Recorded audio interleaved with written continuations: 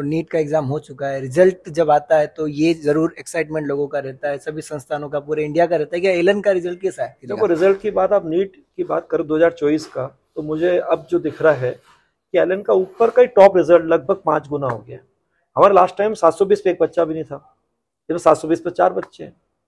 और एलन की क्यू को जहाँ तक हम इतना बारीकी से ऑथेंटिक चेक करते हैं, हमारे को जल्दबाजी नहीं होती और ये भी नहीं होता कि सात सौ बीस चार आ गए तो हमने उनके फ़ोटो लगा दिए या सोशल मीडिया पर उसकी मार्केटिंग चालू कर दी? नो लेकिन जो है, सो है।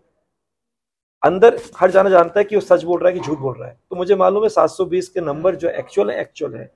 ऐसे हमारे जो बच्चे 700 के ऊपर लास्ट टाइम पिछहत्तर थे, इस बार लगभग फिगर तीन सौ बयासी पहुँच चुका है। तो ऊपर रिज़ल्ट इतना गुना हो गया तो एलन रिज़ल्ट तो नो डाउट अगर 720 वाले बच्चों को सबको फ़र्स्ट फ़र्स्ट रैंक बताएँगे तो एलन के भी तीन चार बच्चे तो ऐसे आराम से होंगे। चारों बच्चे तो होने चाहिए। कुछ की में चेंज भी हो जाए तो किसी और के नंबर बढ़ जाए बोला।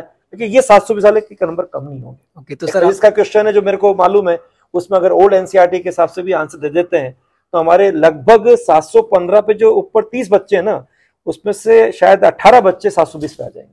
पता नहीं फिर सात सौ बीस कितने हो जाएँगे। सर जिस प्रकार से आप बता रहे हैं कि इस बार सात सौ बीस वाले बच्चे लगभग चार प्लस है हमारे एलन में।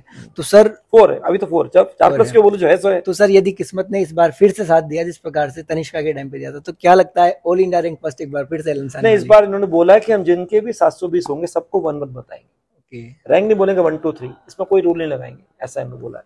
तो मेरा जितने भी वन वन उस पर एलन के भी रिप्रेजेंटेटिव होंगे। यानी कि सर सात सौ बीस में से जितने बच्चे आएँगे तो इस बार ऐतिहासिक रिज़ल्ट एलन का इस बार तो ऐतिहासिक बात होने वाली है। जो मेरे को इंटेशन हुआ छब्बीस मई को। सर इसको ऐतिहासिक की जगह अन ऐतिहासिक भी कह सकते हैं। नहीं मैं इसको बोलूँगा कि एक वापस ऐसा इतिहास एलन जो डेवलप करने वाला है इस बार।